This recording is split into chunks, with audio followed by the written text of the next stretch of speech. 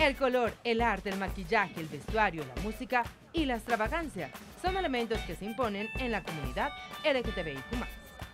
Más allá de una fiesta, la marcha es un acto colectivo que pone en contexto un activismo y una lucha histórica por los derechos humanos. Es importante rescatar que, por ejemplo, la población diversa no es únicamente arte, pero el arte es lo que nos ha permitido resistir, lo que nos ha permitido abrirnos puertas, crear nuestros propios emprendimientos, crear, crearnos también a nosotros mismos como sujetos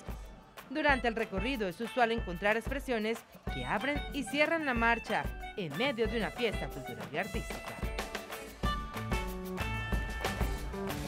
Nos ha permitido mantenernos en la sociedad, mostrarle a la sociedad de cuántas habilidades tenemos como población, eh, de cuánto conocimiento podemos adquirir, porque en realidad eh, estamos muy sesgados a que la diversidad nos limita en conocimiento, nos, nos limita en habilidades, entonces el arte una expresión tan valiosa que se ve en la marcha a través de, todos sus momentos, porque desde el principio tenemos muestras de arte, hasta el final cerramos con un montón de muestras de arte. Una acción masiva para celebrar y visibilizar desde el arte porque la diferencia debe ser aceptada, tolerada y respetada por todos.